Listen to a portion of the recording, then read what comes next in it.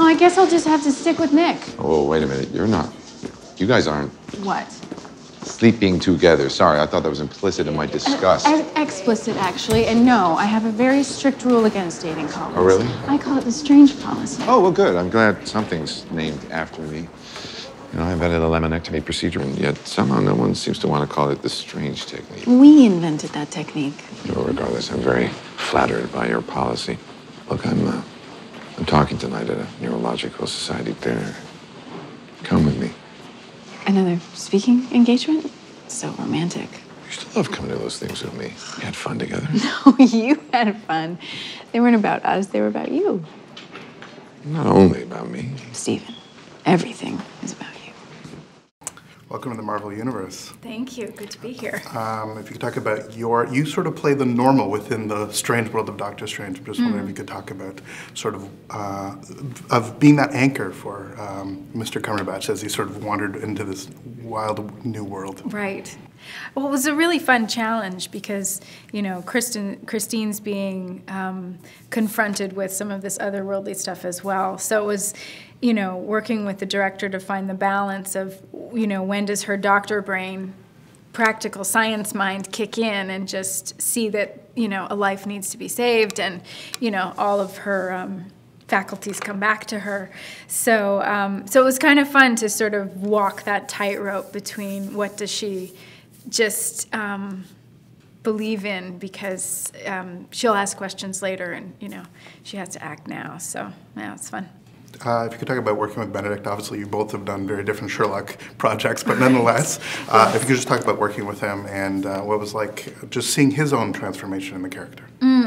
Um, I mean, I've been a huge fan of his from afar for a long time. So it was, I mean, it was just so great to see him become Doctor Strange. Uh, the first time I saw him in the full costume and the levitation cape, and he's running towards me through the hospital, and he's, the wind's blowing in his hair, and you know, I was just like, wow, that's a superhero, you know, and it's just exciting to see, you know uh, it all come together, come to life like that. And I think he's phenomenal in the film. You just talk about the scope of a project like this? Like, obviously, if you're working on something as massive as some of the television projects you've done, or something like Spotlight, which is obviously a little bit more intimate, um, you're sort of walking this world, massive green screens, massive sort of the technology, yet you're still trying to find the core character. Is it a, uh, more of a challenge from us outside, as a performer, do you just walk in and continue to do your work? I, I guess I feel like you, it's a similar approach to, to most roles. Um, you try to find the, the truth of it, no matter how fantastical it gets. You try to play real people.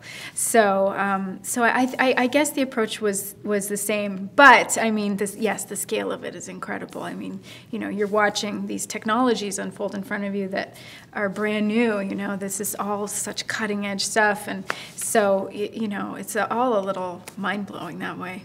I mean, you're now sort of in a comic book movie. Is there anything that you collect? Is there anything sort of like you put on your little trinket shelf that uh, this is this the kind of nerdy stuff that you're into yourself, or is this sort of also outside your comfort zone? Um, I've become a real lover of graphic novels, um, so I've, I've got a lot of those on my bookshelf now. Um, but I collect tea towels. Um, I usually try to get one because it's, it's easy to find one. I mean, the magnet thing just on the fridge gets to be too much. But tea towels, I always get one wherever I go. And then when I'm doing the dishes, I have a little memory of that place. And, What's your craziest tea towel? um, I have one from the Andy Warhol Museum in Pittsburgh that I got when I was doing Southpaw, and I think it says something like "modern art equals I could do that, yeah, but you didn't." That's Is that sort of your mantra? Because you are doing modern art. um, I guess this is kind of modern art. I never thought of it that way, but um, yeah, it's graphic novels come to life, which is two of my favorite mediums. So. Uh, working with Scott and I guess uh, Cargill, uh, the writer on set, I'm just wondering if you could talk about working with these sort of young, hungry um, um, filmmakers, what that was like, and what they brought to the project that's sort of unique from some of the other stuff you've done before.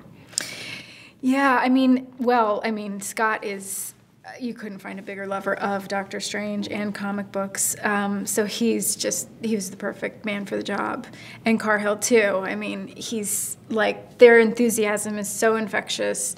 They love what they're doing. They feel grateful to be there. I think, and I I don't know. I think they I think they they were really ambitious.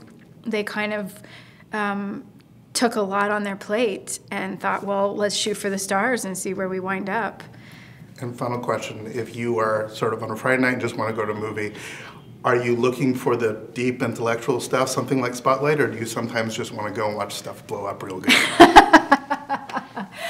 Both, yeah. Um, sometimes you just want to. I, I the I think the best. I just saw Sing Street not that long ago, um, and that was just. I just love a movie that makes you tap your toes and you just come out of it feeling like reborn or something. Like you've seen something so wonderful. Um, I like it all. When I are like going to see you in a musical?